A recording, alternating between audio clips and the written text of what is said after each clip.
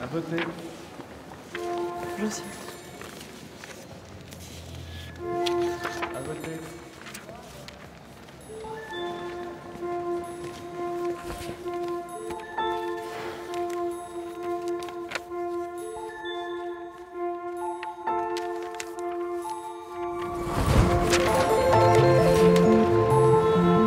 26 mai, pour la première fois depuis l'élection présidentielle de 2017, vous pouvez faire entendre votre voix.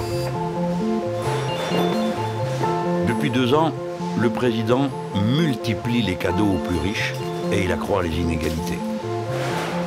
Il déchire le code du travail, réduit les droits des salariés.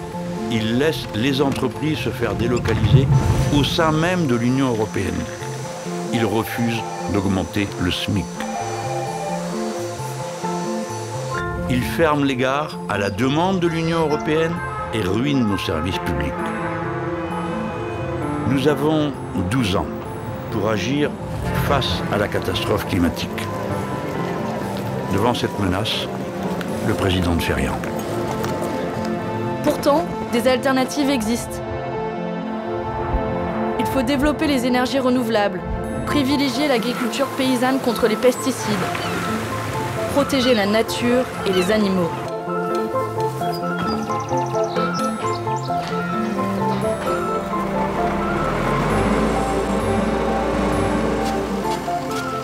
Mettre en place la règle verte. Ne pas prendre plus à la terre que ce qu'elle peut reconstituer. C'est tout notre système de production et de consommation qu'il faut changer. Et pour financer cette transition, il faut en finir avec l'évasion fiscale et organiser un juste partage des richesses. Voilà ce qui fait la colonne vertébrale de notre projet pour ces élections européennes.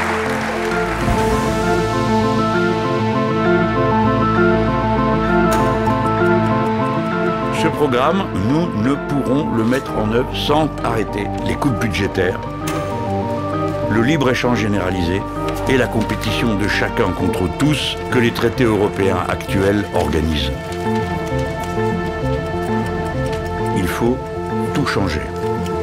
Pour cela, nous nous sommes regroupés entre six pays au sein d'une nouvelle force, maintenant le peuple.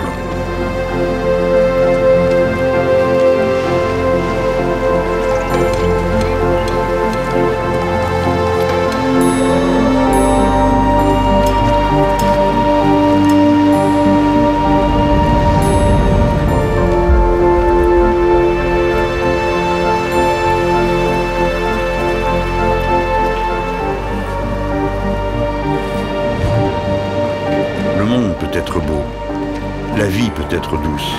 Le 26 mai, votons pour la liste de la France insoumise avec Manon Aubry.